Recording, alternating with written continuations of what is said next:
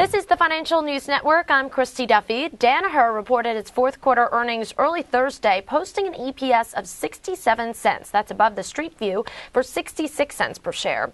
Revenue rose to $3.6 billion, better than the 3.5 billion analysts were expecting. Core revenues increased 13% in the quarter compared to the fourth quarter 2009.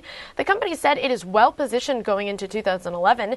President and CEO Lawrence Culp Jr. commented, quote, 2010 was an outstanding year for Danaher. We continue to evolve the portfolio toward higher growth, higher technology, more global businesses serving markets where our brands are clear leaders. The investments we have made in innovation and emerging markets are driving growth and share gains. We generated $1.87 billion of free cash flow in 2010 and continue to seek to deploy our cash back into the business through acquisitions. We believe we are well positioned heading into 2011. For further earnings updates, stay tuned to the Financial News Network. I'm Christy Duffy.